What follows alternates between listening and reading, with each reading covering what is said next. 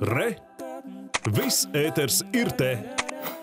Labrīt! Mūziķis Ralfs Eilants papildina savu dziesmu krājumu ar jaunu kompozīciju Viss, kas man pieder. Un Ralfs Eilants un arī DJ Monsta šorīt Latvijas televīzijā. Labrīt! Labrīt! Nu, jāteic, ka rudens ir tas laiks, kad eh, daudzi atskatās uz to, kāda bijusi vasara un tad eh, kādu ražu var ievākt. Kā tas būtu attiecināms uz jums, uz muzikālo radošumu un kādu ražu tad var eh, novākt? Nu, mums vasara bija diezgan radoša. Gan uh, pilotu projektu spēlējām ar uh, Kasparu Breidaku, uh, mēs jūs mīlam izrādi, gan ķesteris dejoja mūsu kopīgajā arī skaņdarbā Miers no manā gaidāmā solo albuma. Un, un turpinājām strādāt, turpinājām arī koncertēt, muzicēt, un arī DJs Monsta gan pats, gan ar saviem projektiem braukāja apkārt. Tikko no Igaunijas atgriezās vēl pat. Nu pat, nu pat. Nu pat, nu pat. Tā kā vasara mums bija bija diezgan radoši un skatāmies pozitīvi uz, uz rudeni, uz ziemu un uz arī nākamo gadu. Jā, nu, DJ Monsta, jeb Uldis Cīrulis, ja tas būtu tā godāt pilnajā vārdā. Esi piedalījies daudz un dažādos projektos, arī ar daudziem mūziķiem. Kā raksturotu šobrīd sadarbību ar Alfu, konkrēti ar šo kompozīciju? Ar Alfu ir vienmēr patīkami sadarboties, un man ir prieks Šī dziesma konkrēti ir ļoti mīlēta, un viņa ir divu gadu garumā ļoti rūpīgi strādāta ar, un uzpasēta, un lai iznāktu īstajā laikā ar īstajos, īsto skanējumu, un lai viss būtu vislabākajā kārtībā. Divi Ko gadi tas gluži tā kā tāds labs vīns, ja, kas jānotur Jā. un tad var palaist tautiņās, vai tā? Es domāju, ko viņš citu teiks, ka man blakus stāv, ja ne to, ka ir foršs sadarbība. Jā, šo jautājumu vajag uzdot, kad draugs nav blakus. Bet uh, tas ir tāds labs vīns. Uh, bija tas vīns nogatavojies, un uh, es teikšu, kā ir. Tad uh, atnāca tā pandēmija, un tad bija tāds, ai, nu, kāda jēga, kāds sakars. Un tad uh, vienkārši tie gada laiki pamainījās tā, ka nācās izdot, piemēram, mieru dejojumu ārā vai uh, kaut ko citu, un tad šī dziesma ir glabāta, pucēta, uh, turēta.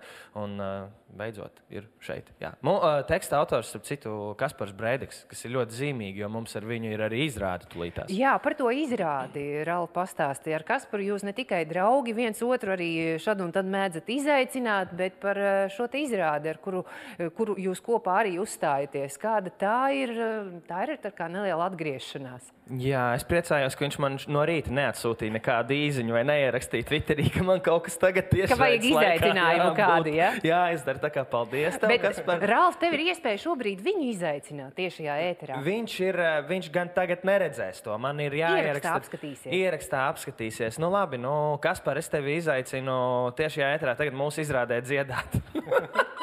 Ļoti labs izaicinājums. Jā, mums ir 14. un 26. oktobrī Hanzas peronā. Mēs vēl dzīvojam, mums vēl viss notiek, viss ir vaļā, un cilvēki laipni aicināti nākt skatīties. Mēs jūs mīlam, kur mēs jokojam par visu un runājam par lietām, kuras mēs mīlam. Mums ir ļoti daudz, kas sakrājies par šiem laikiem, mūsu tās pārdomas, sajūtas, par kurām arī, nu, lai aiziet kaut kas negatīvais prom, mēs varētu ierēkt vienkārši ar skatītājiem kopā. Es, es tur biju. Baudīt. Es kā apmeklētājs tur biju, ļoti patika, iesaku. Nu, šorīt bez izaicinājuma varbūt citiem skatītājiem, jo Kasparam jau izaicinājums ir mests, bet nu, šobrīd labprāt dzirdētu jauno kompozīciju Viss, kas man pieder. Aiziet!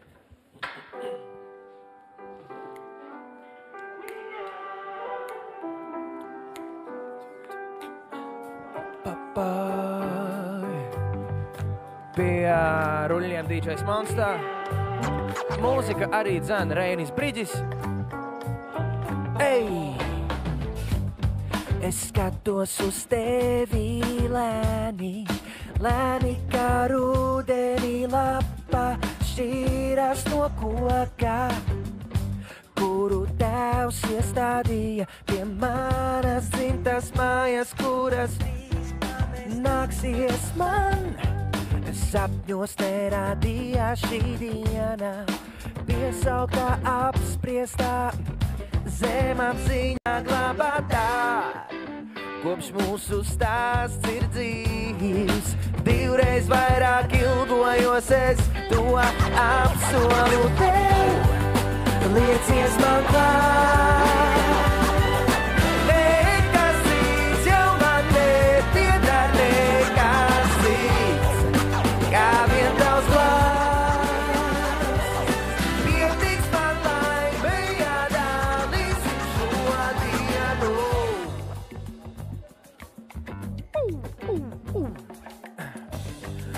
Tādā biezā miglā ir tīts. Vakars nav sācies, kad klāt jau ausis ir rīts.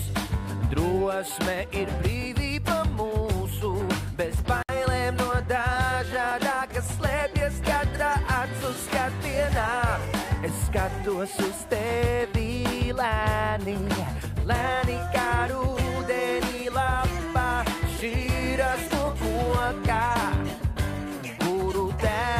iestādīja pie manas dzimtas mājas, kuras drīz pamestāsies.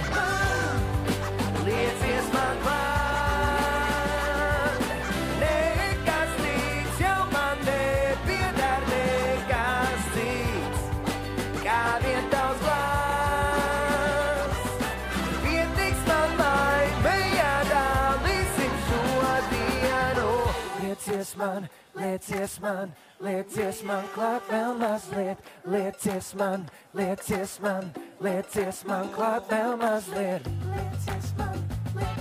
Nu, lai visiem fantastiski iesācies rudens! Wow, wow, wow, wow, wow, wow! Liecies man klāt!